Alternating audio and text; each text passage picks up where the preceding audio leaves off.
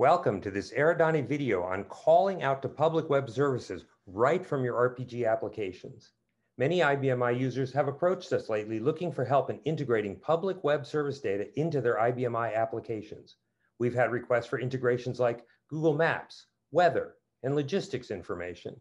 In this three minute video, we'll look at how easy it is to access these services right from RPG using Eradani Connect. And I'm gonna start right from the green screen and we're gonna run a command, display weather forecast. This is a command we've written that will go out and call out to the weather service and get the weather forecast. So notice I could put in the latitude and longitude for where I want the weather forecast, or I can actually just key in an address and we'll go ahead and do that. And we'll see how the weather is today at the White House.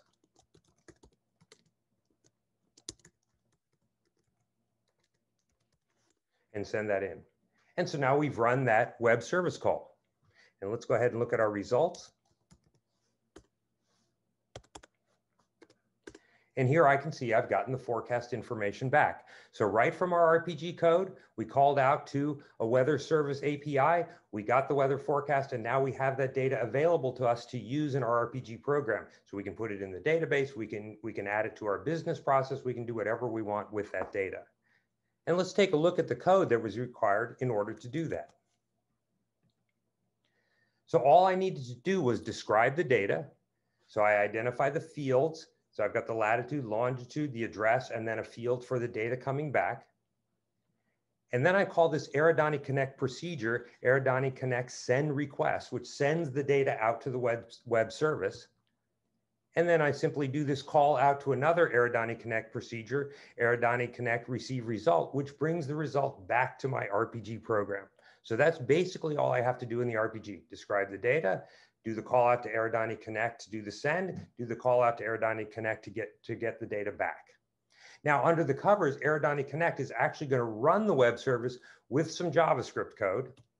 And here's what that JavaScript looks like. Now we actually provide this JavaScript code in template programs that you can just cut and paste, but I'll explain what we're actually doing here. So here, first we have in the JavaScript, the actual description of the, the API. So we have the URL where to get to it and our API key. And then down next, we have the actual call to the weather service API. And then we have the function that returns the data back to the RPG program. So basically, this is all the JavaScript you need in order to run this process. So we have a few lines of RPG code, a few lines of JavaScript, and that's all we need to do in order to run the web service call. Now, under the covers, Eradani Connect is actually doing all of the work like handling the authentication for you. So it's ensuring that you're authenticated to the web service.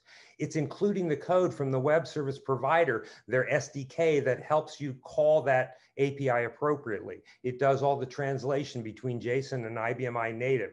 It provides the latest cipher suites to ensure that your request won't get rejected. It manages the IBM i connections and it supports the asynchronous nature so that when you send out a request, if the web service isn't available, it will queue up those requests and run them later, and it's extremely fast. And that's basically all you need to do in order to run your web service right from your RPG application.